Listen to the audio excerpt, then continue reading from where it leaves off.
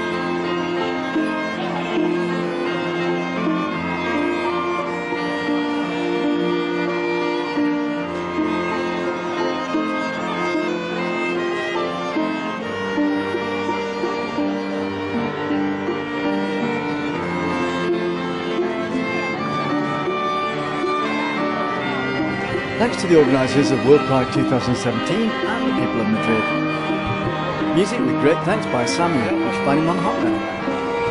This has been Chris Summerfield Video Production 2017. You can contact me at ccs12 at hotmail.com and if you'd like to sponsor my videos, you can PayPal me at ccs1 at gmail.com. Thanks for watching the video.